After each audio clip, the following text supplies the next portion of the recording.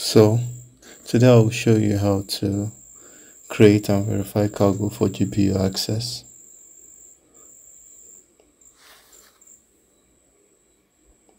So first let's go to Kaggle site. So just search Kaggle on your Google. Then let's go to Kaggle, the login or create or register. Click on that.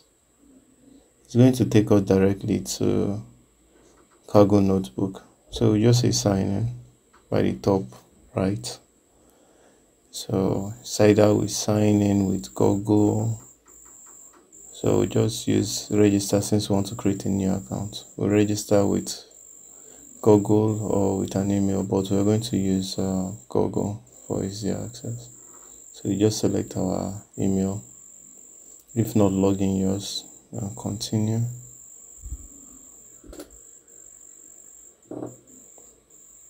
Oh they're telling us our username is not it's already taken so let's just add something to it. Scroll down. The privacy terms and condition you accept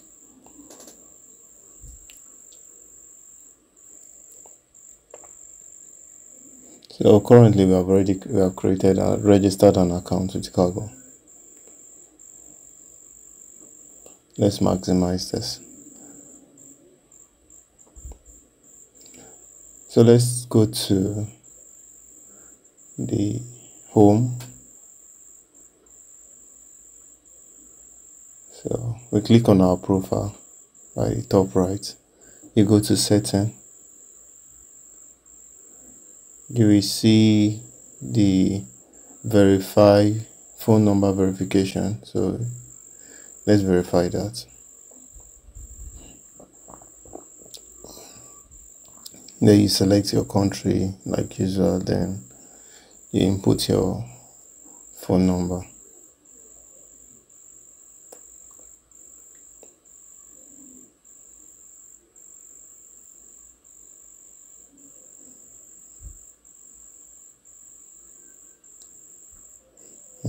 yeah i'm not a robot.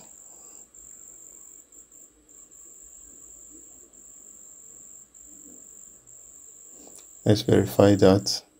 Then send verification code.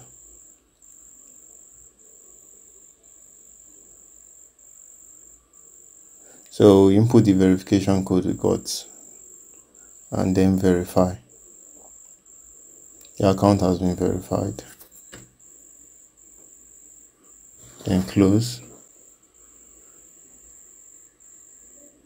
so the next thing we're going to do is the identity verification.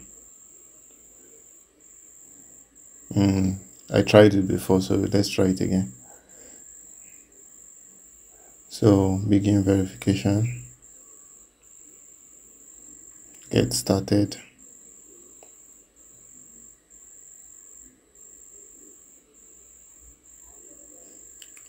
Allow while visiting a site.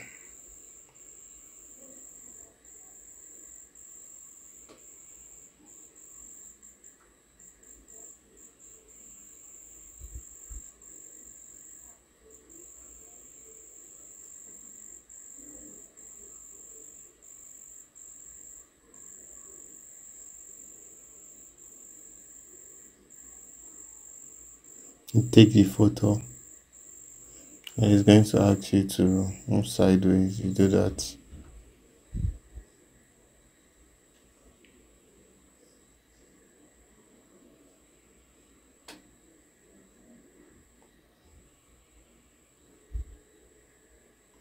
Ah.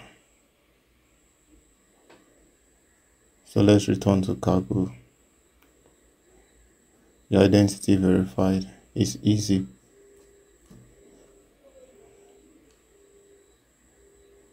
So currently now with this, we have access to other GPU.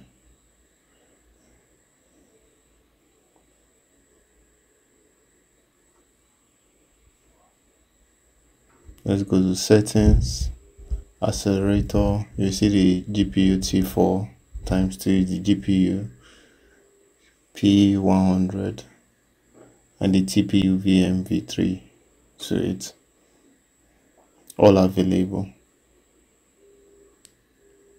So that's it